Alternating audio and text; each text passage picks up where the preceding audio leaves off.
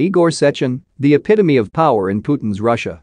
Igor Sechin knows better than most that the course of true love never did run smooth. Amor Vero, a yacht linked to the head of the state oil company Rosneft, once bore the name Saint Princess Olga, apparently in honor of Olga Ryzhkova, his second wife. After the couple split, around 2017, according to independent Russian media, the boat was renamed. Sechin, a close ally of Vladimir Putin who has been described as the second most important person in Russia, never publicly claimed ownership of the Amor Vero.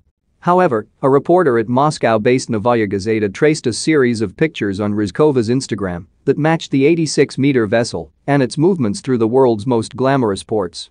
The boat accommodates up to 14 guests in 8 staterooms and has a private owner's deck and a swimming pool that turns into a helipad. Sechin was sanctioned by the EU on Monday, but he has not been blacklisted by the UK. Now the French government has confirmed it thinks he is the main shareholder of the offshore company that owned the Amor Vero. It was seized this week by customs in a nighttime raid on a dockyard near Marseille. The $120 million, 90 million pounds, Amor Vero and others like it have become symbols of a crackdown on the super wealthy elite around Putin after the invasion of Ukraine prompted a wave of sanctions as the US, EU and UK try to isolate Russia's economy. As chief executive of Rosneft, Sechin commands a central place in that economy. The oil it supplies to the world is one of Putin's key geopolitical tools, and taxes on the company brought in 1.8 TN rubles for the Russian government in 2020 alone. That cash would have been enough to fund about 40% of the annual military budget.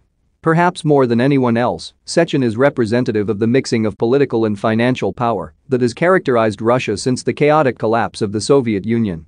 He has prospered under a regime that has seen huge private fortunes built from publicly owned assets he is one of Vladimir Putin's most trusted and closest advisors, as well as his personal friend, the EU sanctions notice alleges. He has been in contact with the Russian president on a daily basis. On the yacht, a Rosneft spokesperson said, Mr. Sechin is not aware of the presence of any company that owns this object. Sechin, 61, has revealed relatively little about his early life, but he studied French and Portuguese at Leningrad University in what is now St. Petersburg. He then served in the army in Angola and Mozambique as a translator, according to Russian media.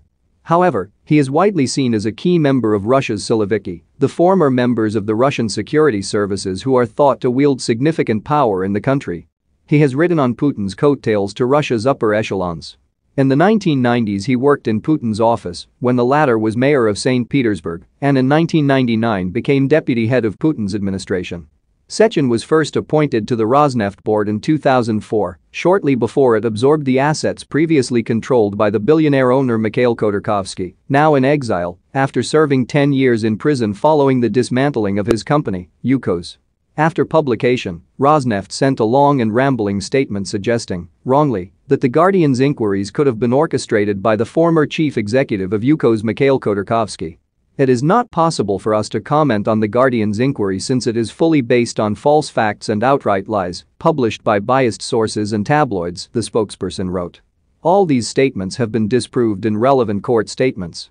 While Sechin served a four-year term as deputy prime minister from 2008, it was his arguably his appointment as Rosneft chief in 2012 that marked his key position in Putin's regime. Under his eye the company struck deals with Italy's Eni, Norway's Statoil, now Equinor, China's CNPC and America's ExxonMobil, then led by Rex Tillerson, later hired as U.S. Secretary of State by Donald Trump. The EU claimed Sechin has been rewarded by Putin with great wealth to outdo even his Rosneft pay, reported at as much as $11.8 million in 2015. Sechin's pay was not disclosed in the latest annual report. Rosneft returns the favors. The EU said the oil company financed the vineyards of a palace complex used personally by Putin near the Black Sea resort town of Gelendzhik.